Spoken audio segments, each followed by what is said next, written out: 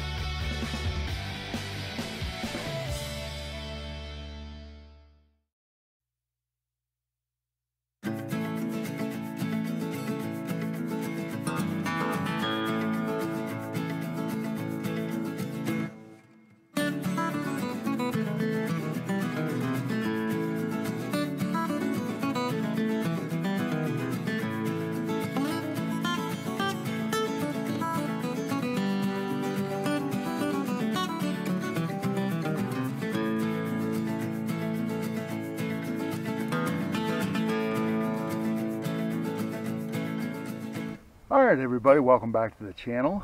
This is Sagamore Lake, and it offers some spectacular mountain views over in the distance.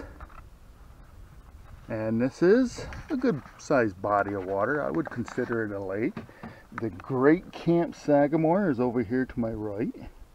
And uh, yeah, there is a lot of history back in here. So yes, the uh, Sagamore Lake is just south of Raquette Lake. Um, it used to be known as Shedd Lake before being renamed Sagamore Lake by Alfred Vanderbilt, who, after he purchased the Great Camp in 1901, um, this Great Camp was constructed by William West Durant and between 1895 and 1897.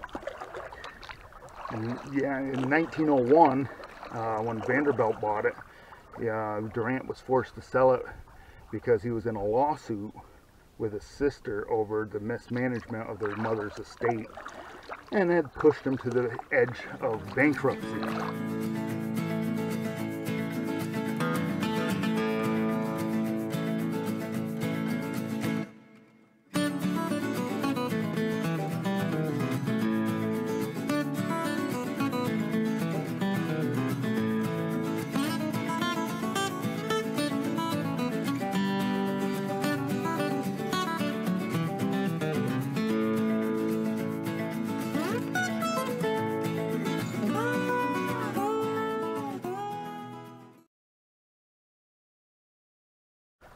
So it was eventually purchased by uh, Alfred Vanderbilt, who expanded and improved the property by putting in flush toilets and a sewer system, hot and cold water, and including a hydroelectric plant to give it electricity.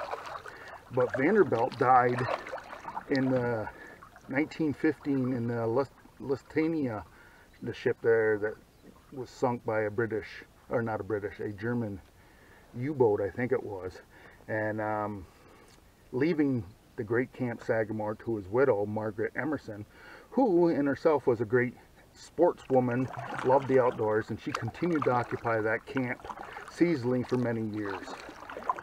But eventually, Miss Emerson transferred the property to Syracuse University, which operates the site to this day.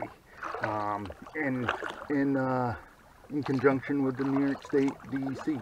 Because we all know if the DEC took control of it, um, because of the forever wild provision of the New York State Constitution, um, they would have had, it would have required all the buildings, camp buildings, to be demolished. And to skirt around this, the Preservation League of New York arranged with the state asking the title transferring the property with deed restrictions to a not-for-profit institution, which was Syracuse University. And um, the Great Camp Sagamore has continued to function as an education institution dedicated to preserving this national historic landmark.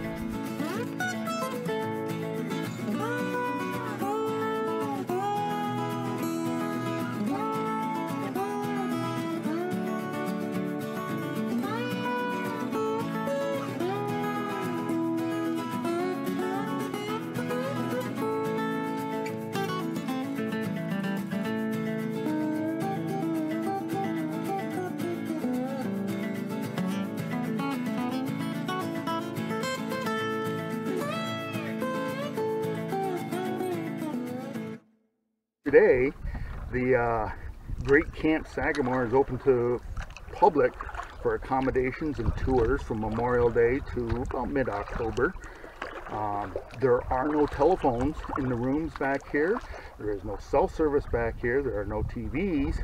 So if you come, you won't be bothered by any of those devices. Your re relaxation would be assured. There's also an Adirondack lean-to on the property where you can enjoy a campfire or sleep there for the night. But then keep in mind though, the Great Camp Sagamore is not a hotel, it's not a resort, it's not a motel. Instead, it's a, a learning experience, learning about the uh, living history that is on this property.